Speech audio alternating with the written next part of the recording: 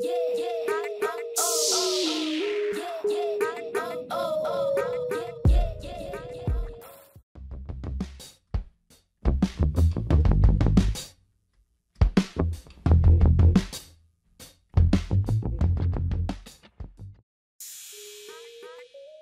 Royal Canadian Air Force, RCAF, will get its first F-35A Lightning II aircraft in 2026.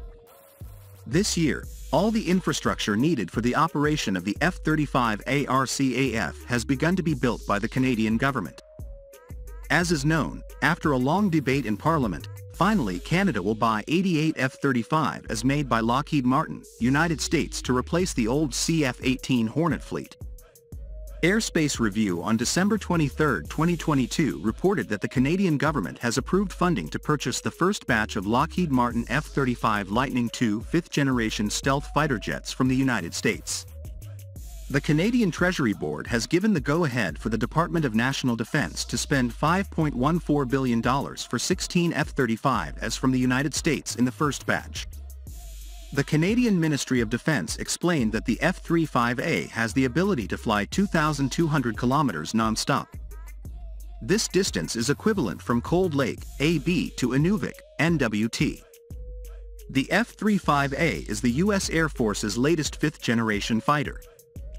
It will replace the U.S. Air Force's aging fleet of F-16 Fighting Falcons and A-10 Thunderbolt IS which have been the primary fighter aircraft for more than 20 years, and bring with it an enhanced capability to survive in the advanced threat environment in which it was designed to operate.